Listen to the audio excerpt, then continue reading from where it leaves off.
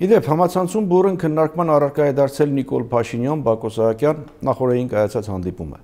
Հատկանշական է, որ ակտիվորեն քննարկվում է ոչ թե հանդիպան բովանդակությունը, այլ Նիկոլ Փաշինյանի դիմելաձևն ու Արցախի դրոշի բացակայությունը։ Ձայնագրության մեջ հստակ չի լսվում, թե Նիկոլ Փաշինյանն ինչպես է դիմում Բակո Սահակյանին ու շատերը պնդում էին, թե նա ասել է պարոն Մարսպետ։ Ու մինչ սրանից դարակազմիկ հետևություններ էին արվում, թե սա սոսկ պրոտոկոլային խախտում չէ եւ կապված է Արցախյան հարցում ինչ-ինչ պայմանավորվածությունների ու հերուն գնացող վտանգավոր գործընթացների հետ, պարզվեց նման բան չկա։ Հայաստանի վարչապետը դիմելով Բակո Սահակյանին ասել է. «Հարգելի պարոն նախագահ, հարգելի պարոն Սահակյան»։ Սա հաստատեցին Նիկոլ Փաշինյանի եւ Բակո Սահակյանի մամլո խոսնակները դիմելաձևի այդ տարբերակն է տեղադրված կառավարության տեքստային պաշտոնական հաղորդագրությունում։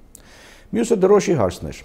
Որոշ շրջանակներից սկսեցին աղմկել, թե բա ինչպես կարելի է Հայաստանի դրոշը կա, իսկ Արցախինը բացակայում է։ Ու այս աղմուկը երևի թե ձնակնդի պես կգլորվեր մի քանի օր, եթե համացանցում չհայտնվեին համանման լուսանկարներ նախընթաց տարիներից, ասենք Սերժ Սարգսյան, Բակո Սահակյան հանդիպումներից։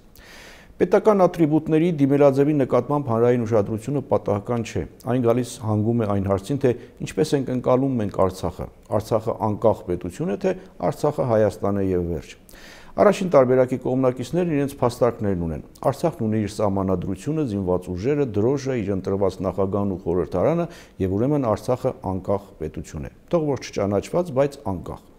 Մյուս տարբերակի կողմնակիցներն էլ իրենց փաստարկներն ունեն։ Արցախում բնակվող մեր հայրենակիցները հայկական արznագրեր ունեն, ասել է թե Հայաստանի քաղաքացիներ են Արցախյան հաշվառումով, վճարման միջոցը դրամն է, մեր զինվորները ծառայում են Արցախում եւ ընդհանրապես Արցախի անկախության իրավաքաղաքական թեզը առաջ է քաշվել բանակցային գործընթացի տրամաբանության շրջանակներում մեր միջազգային իրավական դիրքը ամրապնդելու համար եւ դա ամենևին չի նշանակում որ մենք գործ ունենք դասական իմաստով անկախ ու ինքնիշխան երկրի հետ վերադառնալով դիմելաձևին հուսամ Արցախի ղեկավարին պարոն նախագահով կդիմենք նաև այն ժամանակ, երբ Արցախը դե յուրե կլինի Հայաստանի կազմում։ Այդ ժամանակ Արցախի ղեկավարը կլինի Հայաստանի կազմում Արցախի ինքնավար հանրապետության հարգելի նախագահը։ Լավ մնացեք։